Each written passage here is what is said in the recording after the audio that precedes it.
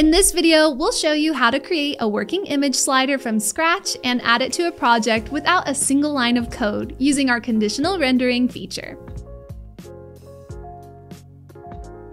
Hey everyone, it's Helena from Teleport HQ, the collaborative low-code platform that automatically writes and deploys code so you don't have to.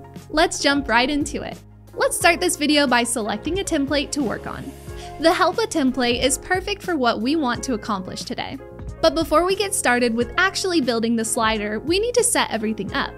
First, click on the project name and go to Project Settings. Next, go to the Experimental section, check Developer Mode, click Save Changes, and return to the project. Next, scroll down and find a section where we could add our image slider. This testimonial section will work perfectly. You'll need to duplicate it and give it a different name, something like image slider. Now, drag it to the top of the project under the header section, remove the existing content, and give it a heading and some text. The slideshow will be a component, so go to the left panel, click on the plus symbol, select New Component, and give it the name Image Slider. From the Elements tab, drag a row and add two columns inside it, which will be our buttons and an image element. Also, change the element's height to auto, so it will scale appropriately. Finally, let's name the row element slide 1 and the container's left button and right button. Now you can start styling the image slider. Select the image and give it a 100% width and a 50 VH height to make it responsive.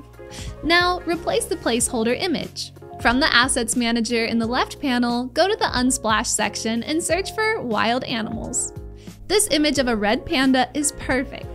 Go to the right panel and add a shadow to the image with 16 pixels height and width, 0 spread and blur, and the color can be the primary green of the project. This will make it look crisp and fit into the entire project. Next up, the buttons. Select both columns by holding Ctrl or Command and clicking on the elements. Go to the right panel and give them 50 pixels width and height. Then remove the border, add the same green color as the background, and give them a 50% radius so they become circles. Next, go to the hover section and select hover. Change the green background to a slightly darker green in the hover state. Now go to the advanced panel and add the cursor, pointer property so the buttons appear clickable. Next, select the left button and go to the left panel, Assets Manager, and Icons. Search for arrow and add a left arrow to the left button and a right arrow to the right button. Select them both, go to the background, and choose white. Finally, it's time to position them. Select the left button, go to Position, and choose Freestyle. Delete the existing values and add 3% left. Do the same for the right, but add 3% to the right. The buttons will now be responsive as well building all the slides. Now we need to create the other two slides. Go to the left panel and select the Slide 1 container. Then duplicate it using the Ctrl or Command D shortcut and rename it to Slide 2. Select the image element inside, go to the Assets Manager, unsplash, and replace the image with a different one. Now duplicate the second slide and choose a third image. We'll use the conditional rendering feature to make the slideshow work. First, go to Setup and switch to the State tab. Click the plus button to create a new state. Give it a name like slide number and a default value of 1. Now select the slide 1 container and go to the right panel. In the conditional rendering section, check the conditional rendering switch and choose the slide number state that you previously created in the input, giving it a value of 1. For the second slide, give the state the value of 2, and for the third, the value of 3. To bring this all together, we'll need to add events to the buttons to switch the state of the slideshow. In the first slide, choose the left button and go to the right panel.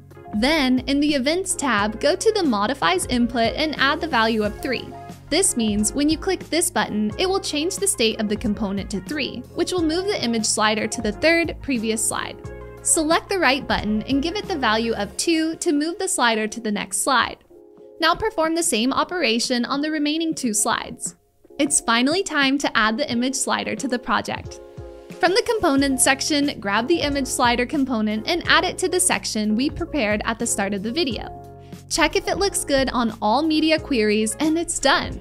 To preview the project, we need to use the feature we enabled at the start, Developer Mode. Go to the top left, click Developer Mode, and click the Small Sync project icon. After refreshing, scroll down and see the slideshow in action. And that's it. In this video, we covered how to create a component and build it into a slideshow, and then use conditional rendering to make the slides switch. If you found this tutorial useful, please let us know in the comments below. We are working on more tutorials, so subscribe to be notified when new videos are published. See you in the next one!